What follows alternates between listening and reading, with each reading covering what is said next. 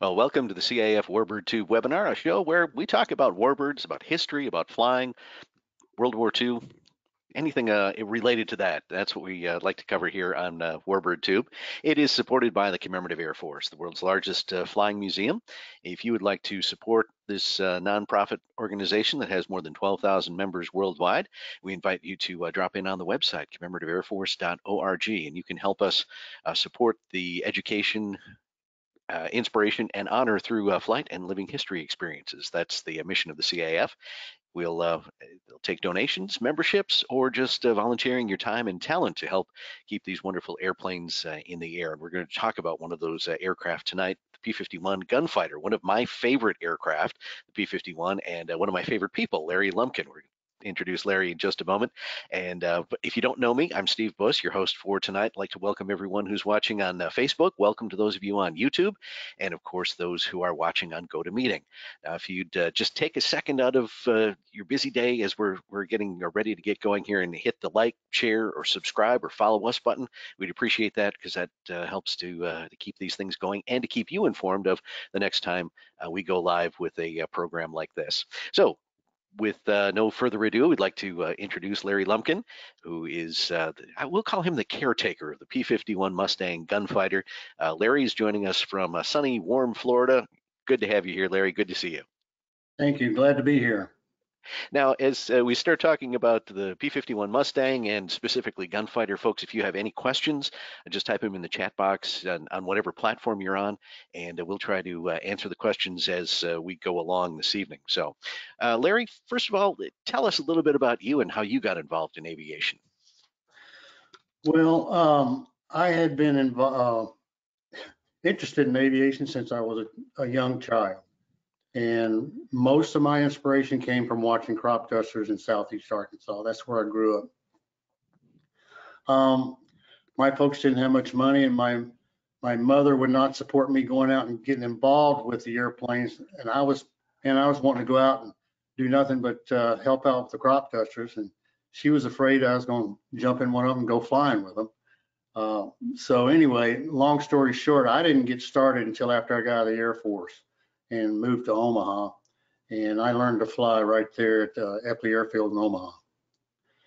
Um, I got my private certificate in about two months. I was a little bit motivated. And uh, by uh, June of the following year, I had my CFI, my instrument commercial. So I went to work a couple, almost three years as a CFI and then flew corporate uh, until I got hired at United Airlines in 1986 and flew there for uh, 32 years and retired three years ago. And I got involved with the uh, the Warbirds, well, actually the CAF in 1994. And that's how I got involved in this operation.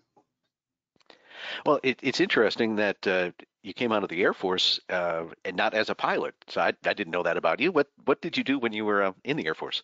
I was a electronics uh, head. I worked in research and development missile guidance system out at the test track at uh, White Sands Missile Range. All right. And uh, what are the some of the aircraft that you flew uh, uh, in your uh, commercial aviation endeavors?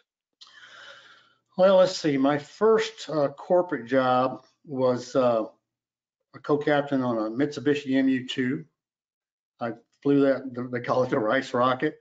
Uh, great airplane once you got it above 200 knots, uh, but uh, a really good airplane and uh, flew that for about a year and the company sold the airplane. So I went and worked for the Beech dealer there and I flew all the King Airs there and helped work in the sales department.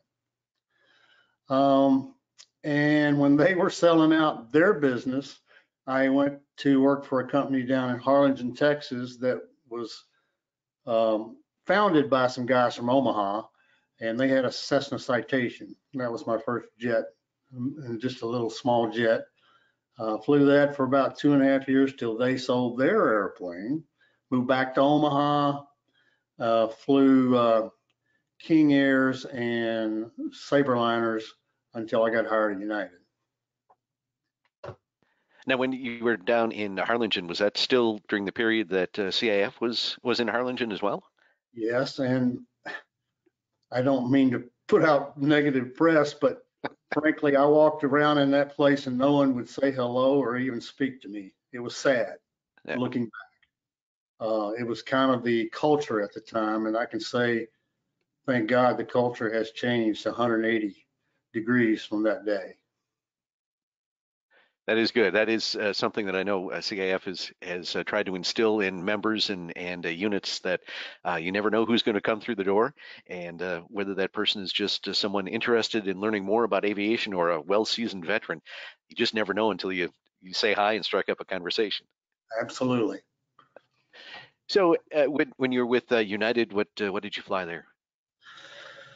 Uh, I finished up on the Airbus A320, but I engineered the 727, the DC-10, flew co-pilot on the 737, the 757, 767, and then I went to the Airbus, or correction, I went to the 737 as captain, and then Airbus as captain. I finished up on the Airbus. I I wanted to fly the Mustang on the weekends, so I stayed senior on a smaller airplane, and uh, I flew it for 23 years.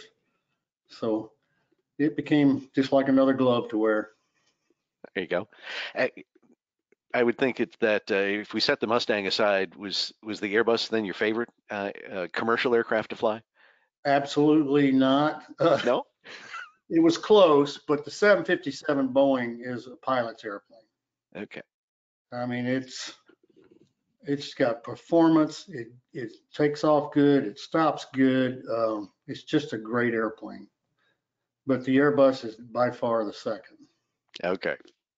Well, let's let's get into the meat of of uh, tonight's topic, and that is the uh, P-51 Mustang. So we'll take you back to 1940 and and World War II. This is uh, the XP-51 Mustang, and uh, Larry, give us maybe your your sort of brief uh, history of of the uh, airplane during World War II. Well, first off, we I think we should talk about how it came about. Um, the uh, British came over to the uh, uh, to Dutch Kindelberger at North American Aviation and said, "Hey, we need you to build some Curtiss P40s for us," and uh, because Curtiss could not keep up with the demand that they had, and um, Dutch Kindelberger, the president, says, "Hey." you know, we don't want to build P-40s. We want to build a new fighter for you. And he says, well, you know, they looked at that with a jaundiced eye. Says, you never built a, a, a fighter before, you know. And um, he says, yeah, but we can deliver. So what what the the British purchasing agency insisted on was, hey, you got to look at this new fighter that Curtiss-Wright is working on. I think it's the XP 46, I forget what the number was, but anyway, they had one in development and already a prototype. So uh, some of the guys went to New York, talked about this for about four months, and in May, uh, they signed a contract for the new Mustang. And 120 days later, they had a prototype sitting on the ramp. And uh, the rest is history. Uh, it originally had the Allison engine. Mhm. And they fi- figured out that it was quite a bit restricted because of the altitude performance for fighting. Uh, it was originally designed uh, as a, you know, air to ground uh, support machine, but uh, the guy over there flying in England for Rolls Royce, and to me, he's one of the he's one of the heroes of the war because his name is Ronald Harker. He's the test pilot for Rolls Royce, and he's out flying this uh, Mustang around, and he comes back and he says, "Hey guys, we need to put a Merlin in this thing." And everybody was reluctant. No, no, no. He says, "I'm telling you, if you marry a Merlin to this airframe, you're going to have a beast." And therein was the rest of the story. So. And as we're looking at uh, these two Mustangs, these are the uh, early model Mustangs, um, uh, still with the uh, Allison engine, and then, of course, uh, more famously, the uh, the D model with the uh, bubble canopy, which uh, has the uh, Rolls Royce. Yep. Uh, one of the biggest questions, I say biggest, the most frequently asked question was, what kind of engine's in that airplane?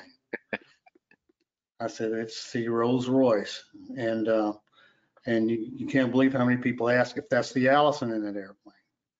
And, um, I have to remember what, uh, Reggie told me way back that Bob Hoover would always say when he gets asked a question a million times over and over and over. He says, Bob Hoover would just be the most humble, sweet man that he really was and say, well, that's a good question and answer the question.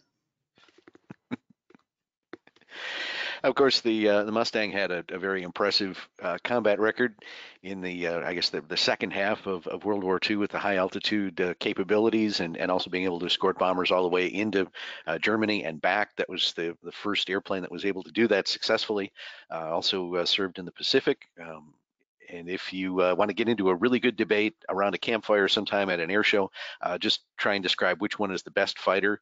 And uh, if you'll, you got the Army Air Corps guys are going to say the Mustang. Of course, the uh, Navy guys are probably going to go to the Corsair, and the, the British will go to the Spitfire. But it's uh, it's always interesting conversation.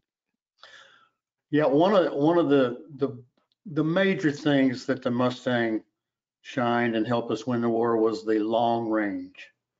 Um, they could get the airplane way up to altitude with the Merlin two-stage, two-speed supercharger and get back to just sipping gas that way they could go all the way to Germany, fight, and come back. That is where it excelled above every fighter in the war. And besides that, it was a, a great flying, performing airplane as far as fighting as well. Now, of course, in, in your experience uh, flying the airplane, no one's really chasing you. Uh, although I'm you've I'm sure you've done some mock dog fights and, and things. But uh, what is you know is describe how it is to to fly that airplane in in even a simulated combat uh, environment. Um, well, the only airplane that I have mock dog fought, fought with was uh, a T6 painted like a zero. And it's a very fun routine to fly. With this airplane, you have to be real careful because he can only go about 150 knots. And you're on the lower end of the spectrum with the Mustang. You can't be just yanking and banking too hard. You have to be real careful. And I'm sure I know those guys when they were when they were fighting, they had to watch all of that, you know, because they were doing high speed stuff and slow speed stuff. And the guys that could could combine the the high energy and the low energy state and use it to their advantage was the one that's going to win. And uh, of course, one of the uh, most famous uh, P-51 pilots uh, who remarkably is still around, just celebrated his 100th birthday, uh, Colonel Bud Anderson. Looking at, at a couple of the aircraft that he flew, Old Crow was was his mount. Um, explain to us as we look at the the top picture there. That's that's an unusual canopy on the on that Mustang, isn't it? Yes, it's called the Malcolm Hood, and it's it if you notice in the the the B's and C's, they kind of have a uh, a bird cage type canopy. Well, they they had a little bit of an answer to that with this Malcolm hood, where they could see so much better. And um, and that's you know as as we all know, the D model really with the the large bubble canopy really made that possible to see very good but that was a strict advantage when they were able to put that Malcolm hood on it. And as we look at the, the two aircraft here, it looks uh, like the, I guess the turtle deck, uh, the area between the the back of the cockpit and the and the tail is it's much mm-hmm. higher on this this particular model, which would be uh, assuming a, a B or C uh, compared to the D. Is was I that that's B right there? And then on the on the D, it's much much lower. Correct, correct. Um, actually, the the turtle deck airplane, like the the red tail, it's a little bit faster. You got a little bit more drag on on the uh, on the, the later model, but the visibility is is well worth every bit of it. The the the sacrifice a few knots of speed. And you've uh, you've met Bud Anderson through the years. I have indeed. In fact, I just uh, I saw him a couple years back at uh, the tribute. I flew in the tribute at uh, Oshkosh to Bud Anderson. Had the privilege of meeting him and uh, had him sign my uh, my uh, box that we all got presented when we participated in that. And he's just a real honest to goodness guy, down to earth. You can sit and talk to him just like you and I talk right now. Yeah. I also met him over at uh, Arsenal of Democracy in uh, 2015. He spoke to us there. So I've met him on occasion three or four times. Great Yeah, guy. and just he's a he's a like you say a very down to earth, uh, uh, very humble. Uh, he was you know not only World War II, but he was in the Air Force up through the uh, early 1970s.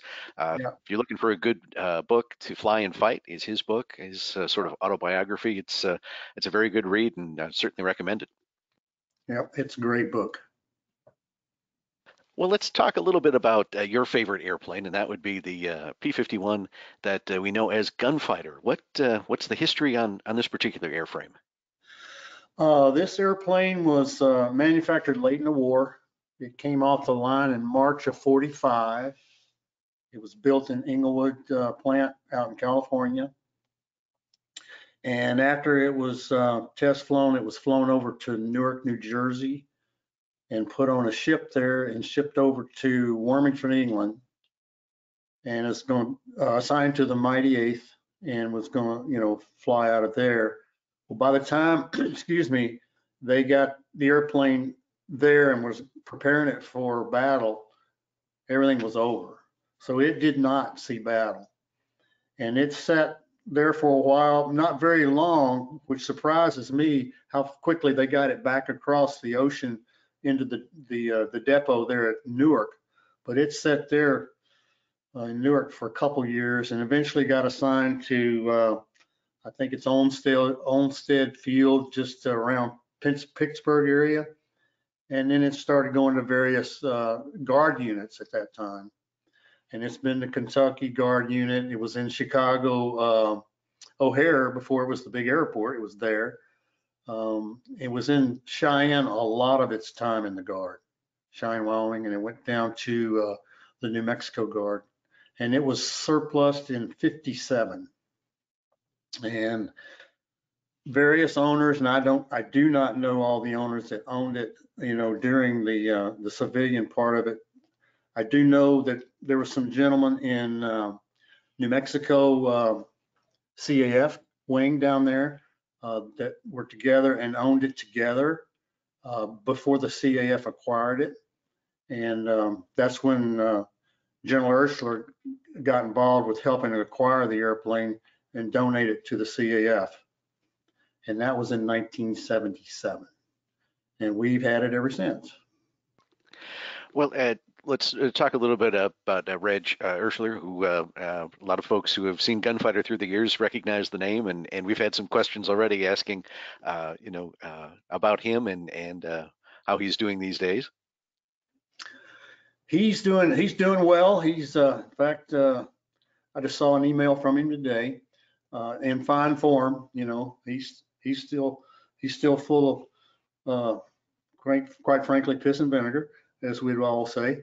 But, uh, he's, he's, uh, he's doing well.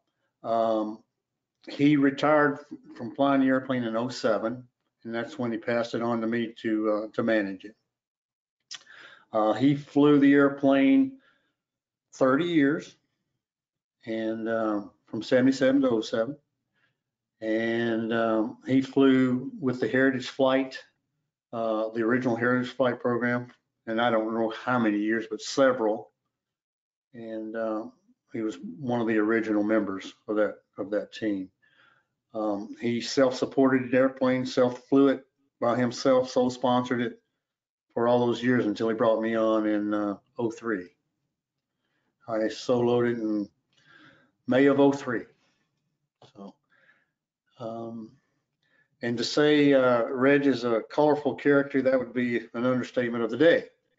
But uh, I think we all know that. Most people who know Reggie know what I mean in all due respect. So Excellent. Uh, where did the name Gunfighter come from? that I'm not 100% sure, but I think a gentleman that owned it um, or had uh, part ownership in it was in the, the guard unit down at Kelly, and they're known as the gunfighters. And I think that's where it come from, but I cannot 100% confirm that. So that would have been before it, it became part of the CAF. It definitely was a gunfighter before it became part of the CAF. Okay. And it is uh, probably, without a doubt, one of the most recognizable uh, Mustangs on the air show circuit, uh, having been around uh, so long. Um, it- have you had an opportunity to fly any of the other Mustangs that are in the, the CAF fleet? Yes, I've had the privilege of flying uh, Red Tail. I have not flown uh, Red Nose. And uh, can you compare the two? Because the uh, Red Tail is the, the earlier the uh, C model, right? Uh, Yes. Compared to the D. I would say the, the, the biggest thing is the visibility. Um, it's, it's definitely different. You set in it differently. You set it a different height. You can't adjust the seat as well as you can in the D model. And it's classic when I get back in that red tail, what little I get to fly it. You know, I'm, I'm used to sticking my head out, looking, you know, side to side, to look around the front and I'm, I'm cl- clanking my head against the canopy and just naturally doing that, you know? but uh, you really have to watch your S-taxi in an airplane more than anything. Once you get in the air, airplane flies much the same. I mean, engine operates the same. There's a few system differences, but it's really a great, great flying airplane. Of course, this is the, the portion of the uh, of the broadcast that uh, you have two choices. You can continue to watch uh, Larry and I talk and and uh, on the on the screen, or you can just watch all these wonderful pictures of, of gunfighter that are going to go by. And and as you do, uh, please recognize the uh, the wonderful photographers who have uh, shared their photos with us. We really appreciate that. Uh, and and as you see their names go by, if you, you recognize them, uh, if you know, if you're friends on Facebook or something, uh, uh, especially like Kevin Hong, just tell him you, you saw the uh, you saw some of his pictures on this on this webinar tonight. Uh, Larry, uh, did you fly any uh, Warbirds before you, you you soloed? You said you soloed the Mustang in, in 2003. What did you fly before that? I, in order to qualify for the Mustang, I had to get a couple hundred hours of T6 time, and that's that's what I cut my Warbird teeth on, if you will. Um, I had a friend of Reggie's, real close friend of his, check me out uh, in the T6. His name is Frank Strickler, and I I'm forever indebted to his training on that initial checkout because he really worked me hard, but he gave me one hell of a good checkout.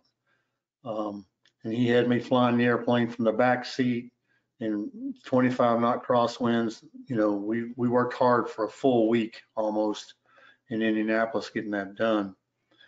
Um, but that was, that was my major Warbird, uh, uh, prep, if you will, for the Mustang. Did you own a T6? Uh, I didn't at the time, I do now. Four of us own it together. okay, Uh, We've owned it now for almost, uh, say, I'm thinking eight years now. So I don't get to fly it enough. I'm too busy flying a a Mustang, but that's tough duty, huh? I'm Yeah, really. No one's going to feel sorry for me there, right? I'm afraid not, Larry. No, uh, yeah. Do I fly the T6 or the Mustang today? I don't know. It- T6 and- and Texans, right? That's right. It, and this is the conversation that that uh, you and Leah and I kind of had before, uh, and that is it, the question always comes up: is how does one become a, a Mustang pilot? Uh, and it, it is it is a process. I mean, there's there's a lot that goes into it. It is, but I can honestly say that if you're determined and you have, number one, a good attitude, a good work ethic, and, you know, good pilot skills and aeronautical decision making, you can eventually do it. I mean, you, you make your, your, your opportunities come. And I was just so fortunate that the airplane was there where I was at in Omaha. And I got involved in being a grunt for years. I washed on the airplane and I helped work on it and did a lot of the wing work, you know, for the, the Great Plains wing before I even was asked to even think about flying the airplane. And, uh, uh, you know, being the right time, or right place, the right time, you got to make your, your, your luck because you got to be prepared when the, the time comes along. And there's there's still a group uh, that that helps you uh, maintain the air, airplane uh, there in Nebraska. Yes, and I, I really, I cannot even go beyond mentioning what it means that one individual in particular, his name is Jerry Mason, has worked on this airframe over 40 years. He's been with Reggie for years and he's stuck with me. And he's like the rest of us, he's getting in age, but he, he loves that airplane and that is his life. And a lot of us just say, hey, we're going to ask permission if we can go fly Jerry's airplane, you know? Uh, he, he knows that airplane backwards and forwards. And he'll grumble and, you know, but it's always ready to go. And uh, we've got, a, a, you know, other volunteers that help a lot. But uh, Jerry's our mainstay guy and, and I help wrench on it as well. Uh, do you have an, an A and P yourself? I do not. I'm just a grade A grunt. there you go. And that, that's an important uh, thing to bring up too uh, with the CAF is uh, the pilots do get the glory of flying the airplanes, but there really is there's a role for for a lot of people in there, and, and especially uh, mechanics working on these these older engines. It's uh, it's almost becoming a lost art, but uh, one just like flying an airplane that you can learn uh, from someone like Jerry who can pass along their their knowledge. Yep. And what what happens sometimes is guys get so set in their ways of doing something a certain way. And Jerry will admit he does that, but he'll turn right around and, and teach a new guy and have, you know, the patience of Job. Now you can't do this. You've got to do this this way because this will do this and this and this. And, you know, this is not healthy, but this is. It's all good. Uh, and do you know how many hours are on the airframe? uh, in the Yes, almost in the 80 years uh, it's been around almost. Yeah, it's, it's, it's between, it's right at uh, 6,800, somewhere around there. And uh, I'm, I'm, I'm, I'm pulling the figure out of my head because I don't remember the exact tach time and, and total time, but it's right around 6,800 hours. And in that time, uh, you know, the airplane looks gorgeous, always has. But eh, has there been a lot of extensive restoration work done on it through the years? Um, yes, it was completely restored in 81 after an accident. Okay. And, um, uh, it has been continually, you know, I would say back channel re- restored as Jerry just continually fixes things over and over and over. And, uh, you know, he, he calls the guys that did the, uh, the restoration, the restorers, the professionals, and he'll find something that they did and it, he just says, I got to fix this. The restorers didn't do this right, you know? But, uh, uh, it's, it's been well, well maintained. And I would imagine with the, the number of Mustangs that are, are still flying today, that the parts are not as much of an issue as they are with some of the, the more uh, rare warbirds. I mean, I, I certainly understand that you can't just go to uh, Walmart and pick P51 parts off the shelf, but uh, they're, they're still out there. There, they are. Uh, it's just a matter of price and it's becoming, you know, that and insurance are, becoming our, our biggest Achilles heel. Uh, the price of insurance and the price of parts. Uh, we have some very, very dedicated people in, in the industry that want to keep these airplanes flying, but they have costs, you know, just to, to, to fabricate a part, you know, just from a blueprint anymore. And, and the good thing is, is they're getting into this, uh, this 3D printing to print parts. And that's, that's going to be a lifesaver for a lot of parts, honestly. Uh, but yeah, it's, uh, the stuff is available. It's just a matter of paying for it. Yeah, which which brings us to uh, you know some of the questions that, that folks have submitted uh, prior to our our show tonight uh, about how much does it cost to uh, fly the airplane for an hour, uh, fuel and and oil and uh, Um, whatever associated costs. If, you know, and the way I always answer this is that we have a lot of guys that volunteer a lot of labor, including myself. Um, I, obviously, when Jerry's doing a full hundred, hundred hour in, or an annual inspection, I force him to take money. I said, I'm not gonna let you do this for nothing. But uh, honestly, if you, if you were paying for it out of your pocket, I would assume today it would be $2,500 an hour, easy. Uh, I figure our costs are right at 2,000 an hour. Uh, But um, that's, that's pretty expensive. And that's about where it's at. And with that, uh, about what is what do you calculate for fuel burn for an hour? Like Um, like air show. Let's let's put air show flying on on one side and then uh, living Yeah. history flights on the other.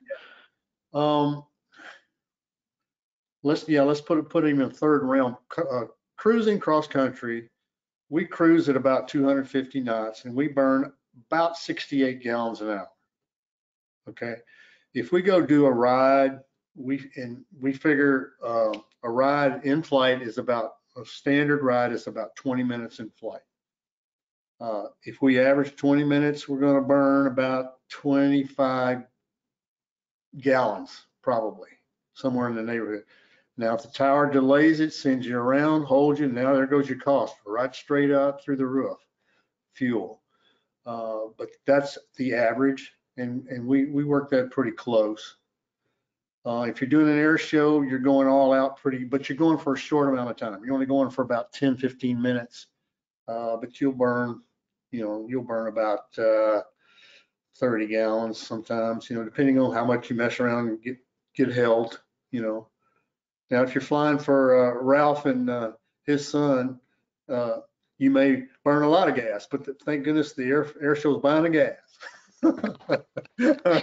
And we're talking about Russell and Yeah. uh, Ralph Yeah, Royce, right. uh, two Yeah. of the longtime CAF air bosses, and they're, they're well known on the on the air show circuit.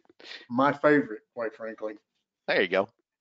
Uh, as we're talking and kind of segued into the into the ride flights, that uh, the living history experience that's been uh, a way to keep these uh, not only the Mustang but a lot of the other aircraft uh, in, in the air being able to generate their own income aside from air shows because uh, air show income isn't isn't always always there depending on on the size of the show. Um, what modifications were made to the airplane to allow uh, someone to sit in the back seat?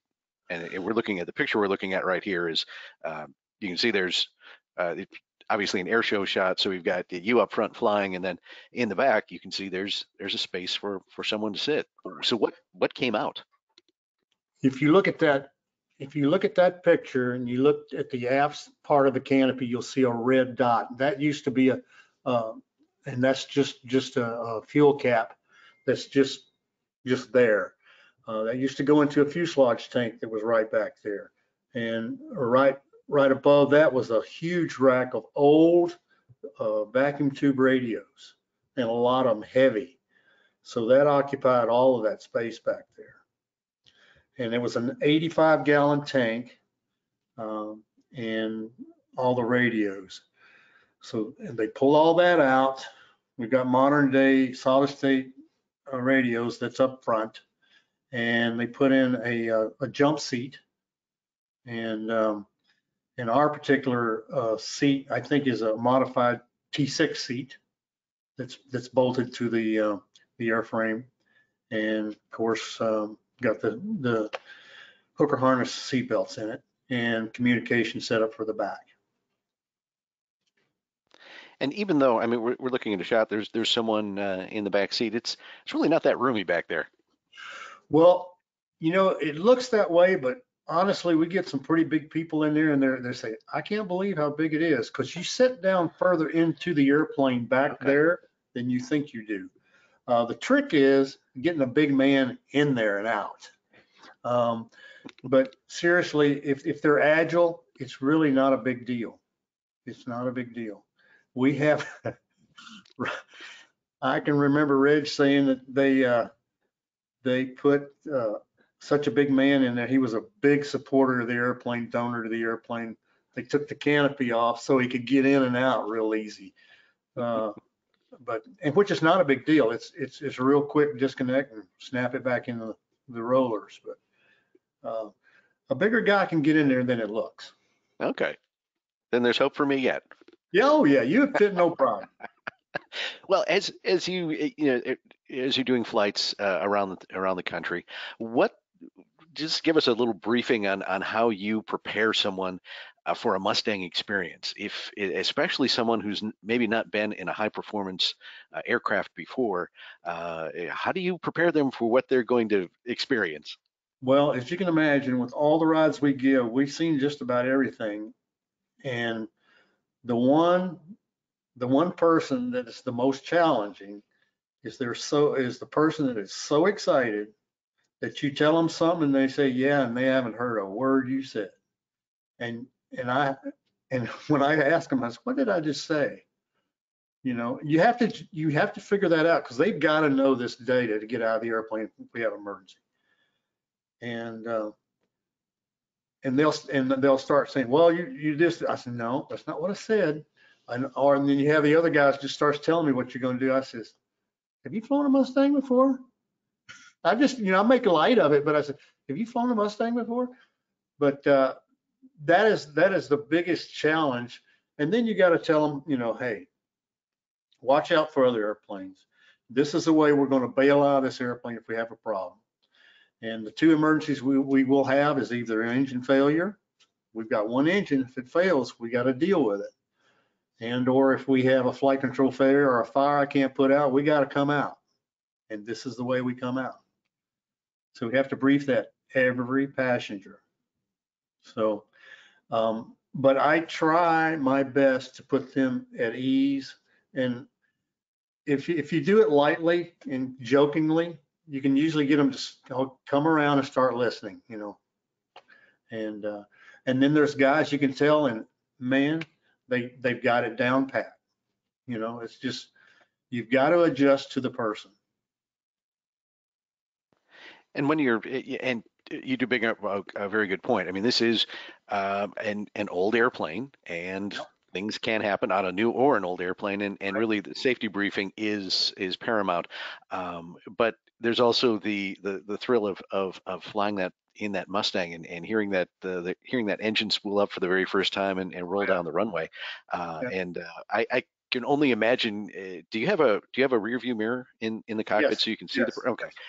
Yes. So I, I, suppose on on takeoff for for most uh, for most riders, all you see is teeth back there and the big smile.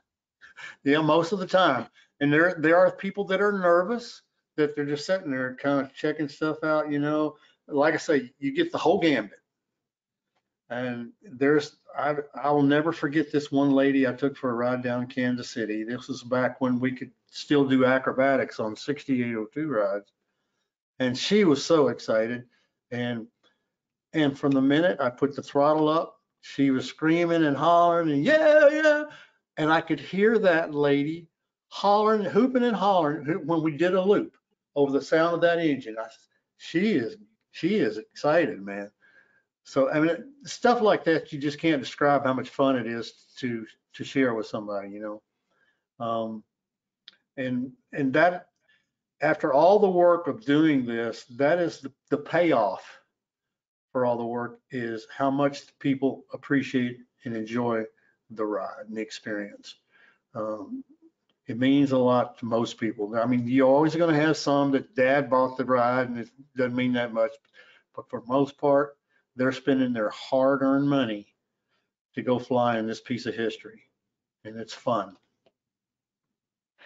It certainly is. And uh, now it probably doesn't happen as often as it did maybe 10 years ago, but uh, you uh, obviously have had some World War II veterans fly with you as well. I have. I don't know how many, but several.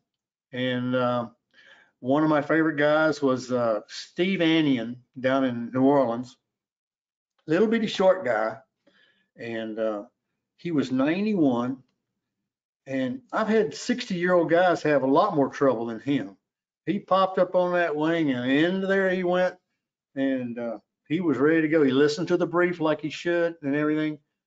And um, as soon as we got airborne, I says, "Hey, Steve, you want to try a roll?" He goes, "Yes, sir." So we did one to the left. I says, "How about another?" Yes, sir. He loved it couldn't couldn't bother him at all. So it's it's it's really fun to do that kind of thing. And I had another guy up in um, Oshkosh. His name was Jesse Bell. I'll never forget his name, Jesse Bell. He was an infantryman for uh, in the Battle of the Bulge, and um, someone, uh, I think it was the late uh, Cowden Ward that was offering these guys rides and he didn't have time to give him a ride. And, uh, and I heard about it and I says, come on, let's go.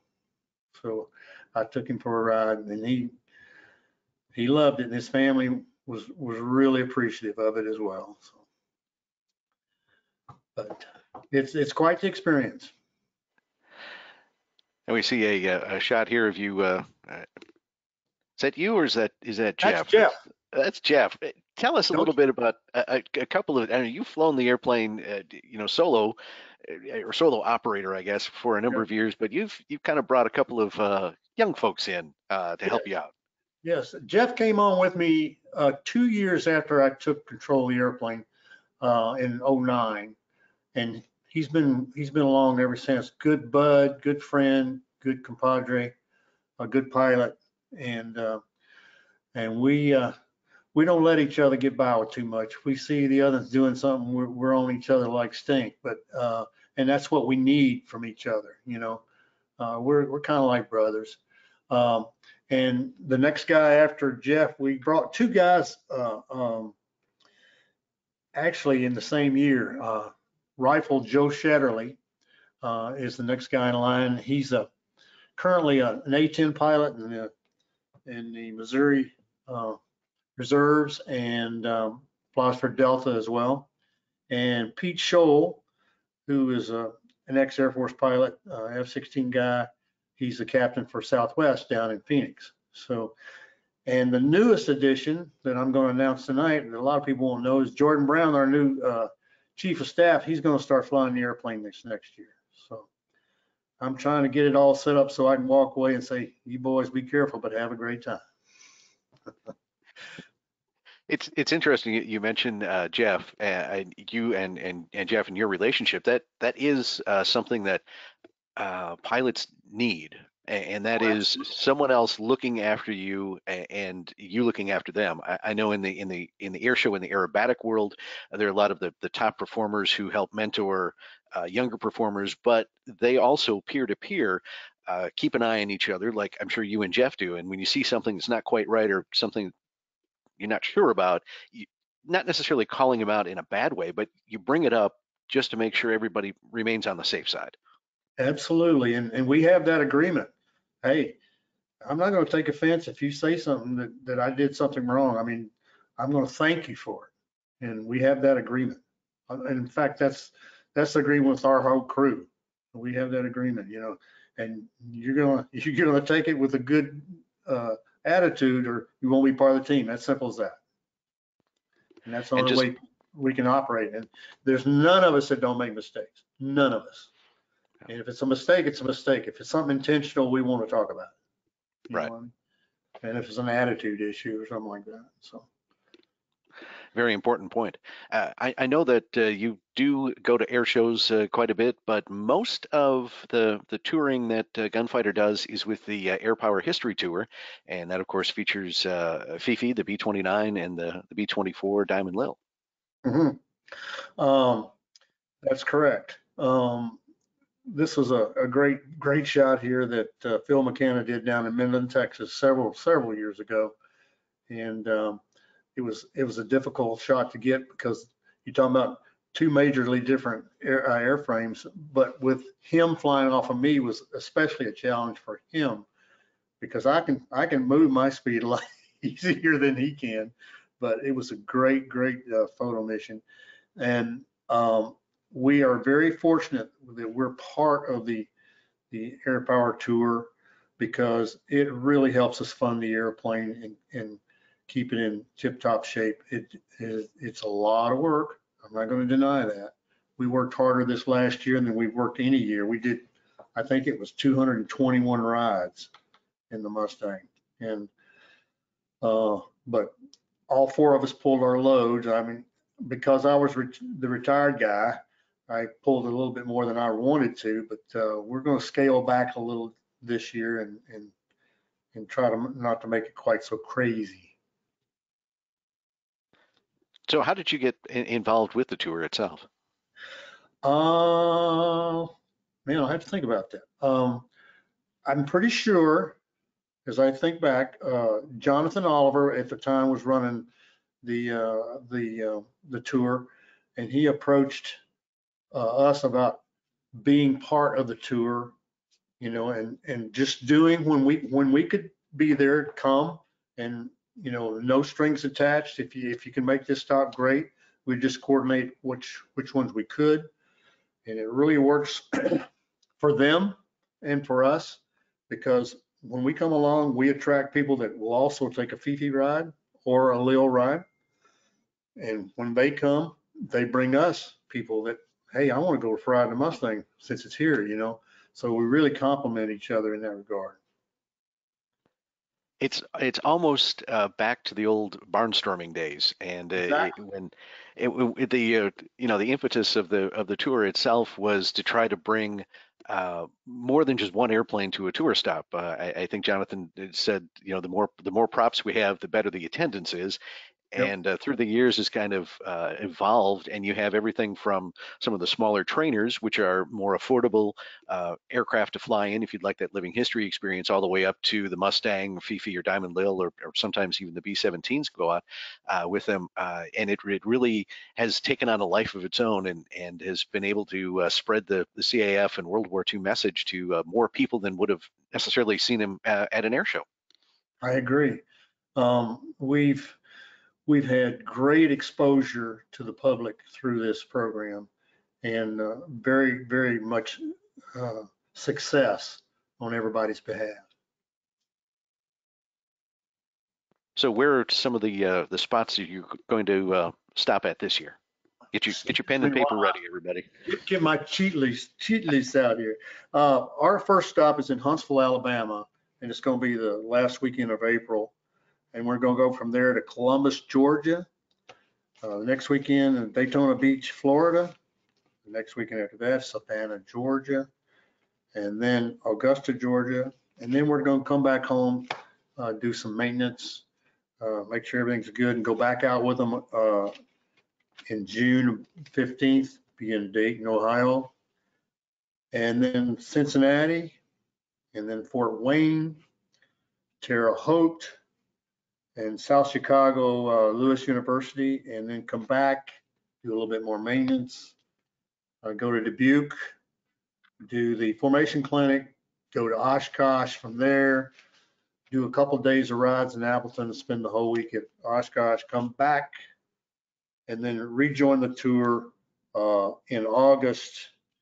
Um, going to Alpena, Saginaw, Toledo, um, Mansfield, Ohio, I think, and then Niagara. And that's as far as we've planned. We, we're working on other stops, but that's about all we've got planned so far. We do have a, we've got a bid out for a, um, an air show at Altus Air Force Base the first weekend of October. That's what we have so far. Of course, we'll be at, at Wings over Dallas way late in the year this year in Right. like, like 11th or November or something like that, I think. it's- Yeah, it's the uh, uh, 11th, 12th, and 13th. It's uh, right at, at Veterans Day. Uh, Yeah. yeah, because of the way the air show schedules for some of the other uh, CAF shows have fallen this year, um, it's one of those years where everything shifts by a week. Uh, Gotcha. So we were we- the Wings Over Dallas show was going to conflict with the I believe the Fort Worth uh, air show. Uh, Gotcha. So Wings Over Dallas is uh, appropriately on on Veterans Day because that's Sure. you know the, the the big focus of that that show is World War II and and uh, saluting our veterans. Gotcha. Okay. If uh, if people want to uh, kind of keep up with, where you are, the uh, Air Power History Tour, they they have all the complete dates of of where you're going, right? Yes, they do. And that's not solidified yet. As I said, we keep it up on our website as well. I kind of put that uh, burden on Jeff uh, on uh, www.p51gunfighter.com. But uh, those both are interchangeable. I mean, you can get to- from one website to the other and uh, see the schedules. And we update it as changes come along as well. You mentioned uh, a maintenance and uh, in that uh, with that airplane, you've got a, a hundred hour inspection that you need to do every 100 hours. How many hours did you put on the on the airplane last year?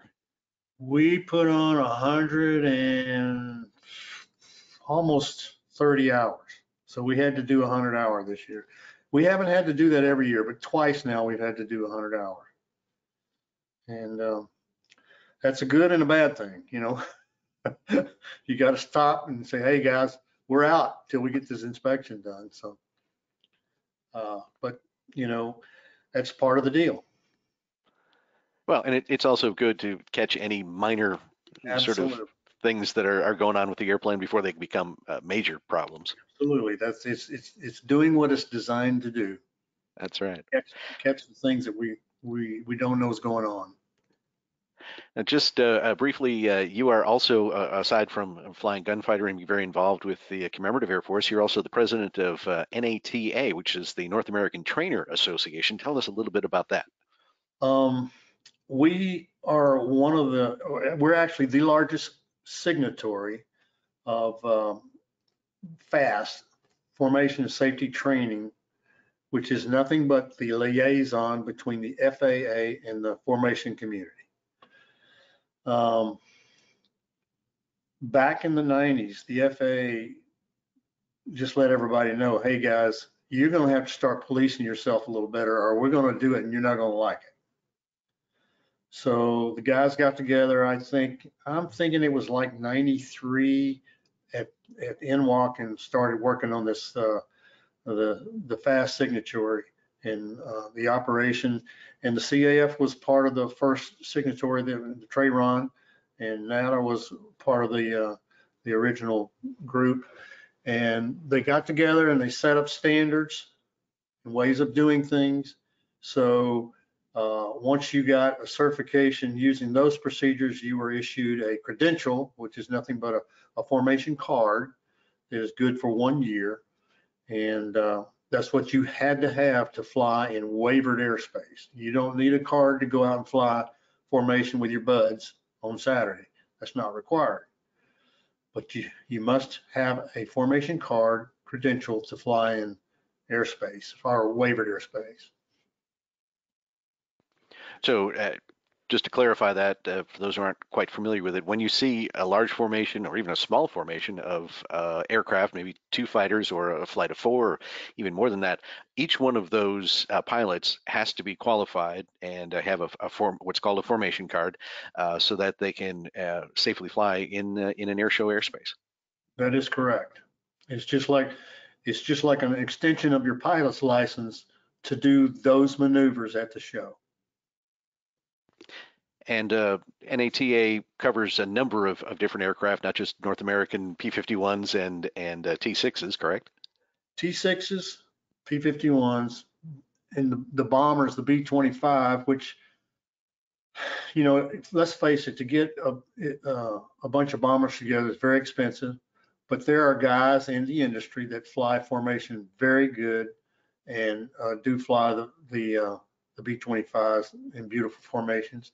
And also in the Mustangs, they're very expensive to get together. And that's why we take advantage when we have a chance to get together at uh, these major air shows, especially Oshkosh. You never get that many Mustangs or fighters together uh, where you can fly, you know, that much formation, you know, and get really proficient.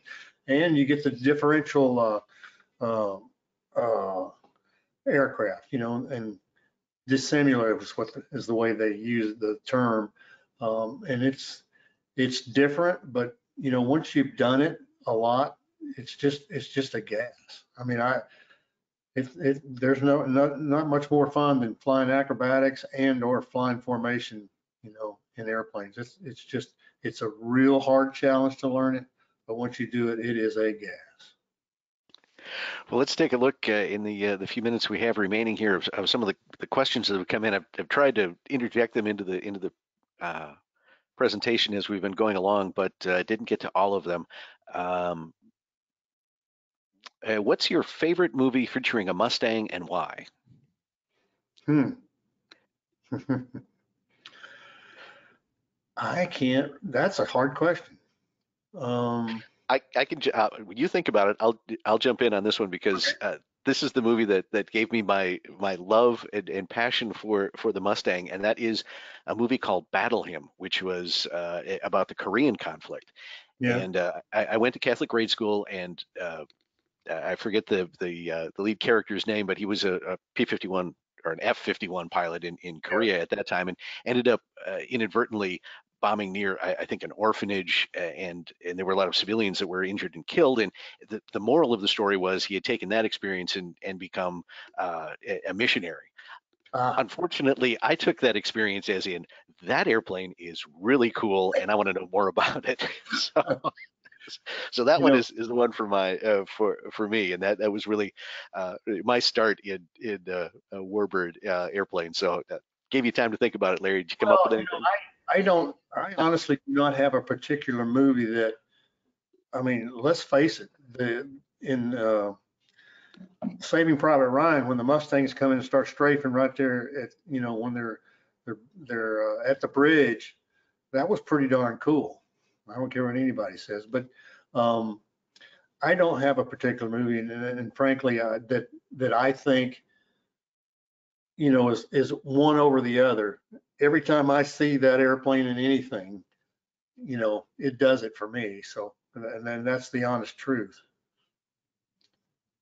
There we go. Um, you've met a lot of uh, pilots uh, in your in your day. Um, any of them that, that stick out as as uh, ones that you uh, particularly admire? Uh, yes. Um, who cannot admire Bob Hoover? I mean, the consummate gentleman, the um, the ultimate pilot. Uh, gosh, he could fly an airplane like, like no one. I mean he in, in me he's the he's the apex in my opinion bob hoover and to have personally met him and sit and visit with him was a privilege and an honor um, and he he is actually he actually flew gunfighter uh, yeah i got a picture of him taxiing in in gunfire. and uh, so that mean that's kind of special too um, there's a lot of guys that you know reggie flew the hell out of the airplane believe me he he could fly it very well and uh, flew it for so many years. Um, unfortunately, the late Dale Snort, Snort uh, Snodgrass, crazy man. I, I mean, I say that respectfully because God, he was a help stick. And I watched him fly the Mustang, and um, you know, he was pretty hot pilot. Let's say, let's face it. Um, and um, that's that's probably the two people I would say that I really respect what they've done in the airplane. And um, I mean, there's a lot of people that fly, and look look what Steve Hinton does for Christ's yeah. sake. He flies everything, and you know, flies it superb, and so does his son. Right. And uh, and just wonderful people, down to earth that you can talk to. And I respect them all. Uh, Let's see. Uh, how many hours do you have in the Mustang? Uh, somewhere around 1,550 hours, I think it is. Do you have any idea how that compares to other uh, P-51 pilots? I honestly do not. Yeah. I honestly do not. I know Lee Lauterbach's well in excess of 10,000 hours, and, and you know, uh, that's someone else that flies the airplane, yeah. you know, so well. I, I went and trained with Lee. Uh, he's he's Mr. Mustang. Let's face it. And uh, Lee Lauterbach uh, has the uh, the twin um, twin the two seat Mustang, which is actually the TF uh, 51 uh, trainer down in in uh, Kissimmee, Florida, correct? Correct. And that, that airplane was specifically built as a as a two seat trainer. Yes. Yes. Okay. Yes. Um, now the one I think was a converted one uh, but it, they're completely converted exactly like the Temco built them. And Temco didn't build too many of them. That's down in Dallas, but that was right at the end of the war, I think, when they built those. Yeah, for the most part, uh, those who checked out in the, the P51, like you, got rung out in the T6 first before they they sat in the even sat in the cockpit of the P51, and then um, pretty much your your first flight was uh, your introduction to the the transition. Yeah. I was fortunate that um, I got to fly in a two-seater, or at least two controls. It was one of those that had a mod in it that had the the throttle, the stick, and the pedals in the back. And a gentleman named Harry Barr in Lincoln, Nebraska, uh, put me in the front seat and said, you know, let's go fly. I says, well, Harry, I haven't even read the book. He says, don't matter. He says, you've been flying a T6. This thing's going to be a lot easier than a T6. And he's right. Once you've got almost 200 hours in a T6, you're ready to fly a Mustang. You just need to know the systems and the, the gotchas, and you're ready to go. There you go. Finally, uh, what's the best advice someone has ever given you?